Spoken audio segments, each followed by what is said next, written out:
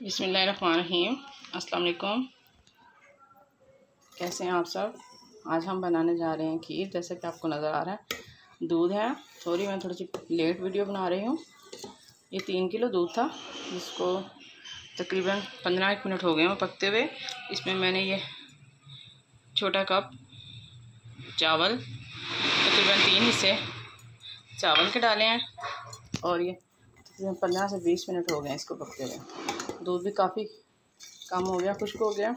अब मैं इसमें डालने लगी हूँ लजीज़ा खीर मिक्स का हाफ़ पैकेट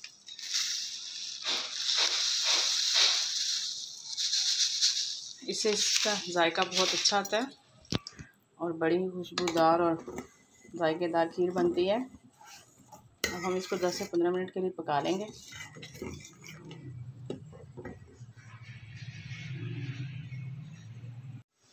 इसके साथ ही इसमें डाल दूँगी।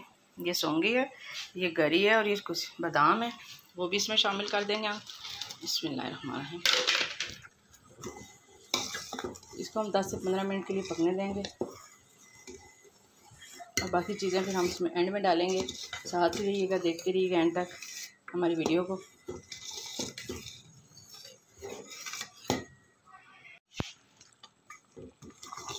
इसको पकते हुए तकरीबन पंद्रह से बीस मिनट हो गए हैं। ये देखिए, काफ़ी गाढ़ी हो चुकी है। एंड में बल्कि खीर माशाल्लाह से तैयार हो गई है। इसमें अब हम डालेंगे चीनी। चीनी मैं डाल रही हूँ। ये छोटा कप है, आधा कप है। हंसबे ज़ायका आपने चीनी डालनी है। और इसको हम अच्छी तरह से मिक्स करेंगे। खीर जब एंड में हो तैयारी के मराहल में तो आपने इसको चम्मच को चलाते रहना, ताकि पैंदे के साथ लगे नहीं।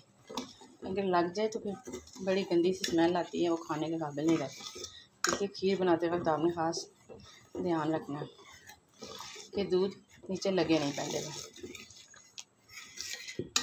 इसमें अब शामिल करेंगे हम इलायची पाउडर। ये इलायची मैंने घर में क्रश की हुई है। इसके साथ ही हम डालेंगे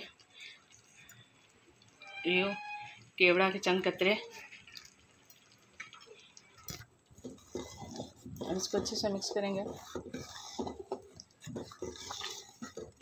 इलायची और केवड़ा डालते ही माशाल्लाह से इतनी प्यारी खुशबू आ रही है। काश कोई सेंसर होता वीडियो में तो आप भी महसूस कर सकते। माशाल्लाह से बहुत ही प्यारी खुशबू आ रही है।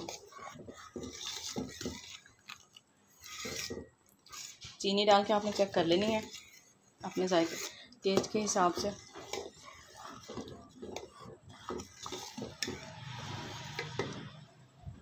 चूल्हा मैं कर देती हूँ बंद और इसको थोड़ा ठंडा होने देते हैं। फिर हम करेंगे डिश आउट।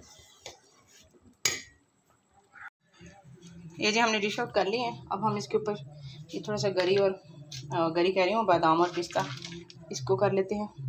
थोड़ा सा डेकोरेट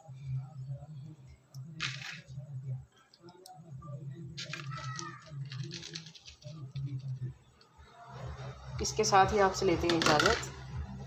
फिर मिलेंगे नेक्स्ट वीडियो में तब तक के लिए अल्लाह हाफिज़।